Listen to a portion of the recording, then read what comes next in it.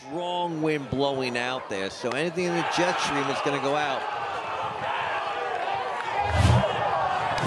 Wow, Vanderbrake not happy at all. 这是一场北卡罗来纳对上加德纳韦伯大学的赛事，时间来到八局。投手 Green Villa 投了一颗快速球，三振了打者 Vanden Break，结果 Break 突然爆气，丢下头盔往 Villa 的方向躲去，双方板凳也冲了出来，想要阻止冲突。我们从另一个角度看，Villa 三振 Break 后，非常兴奋地跳了下来，似乎对着 Break 说了什么话，但看起来很像是某个 F 开头的字。Break 觉得被三振已经够不爽，还要被你羞辱，结果冲了上去想要开扁，接着双方板凳清空。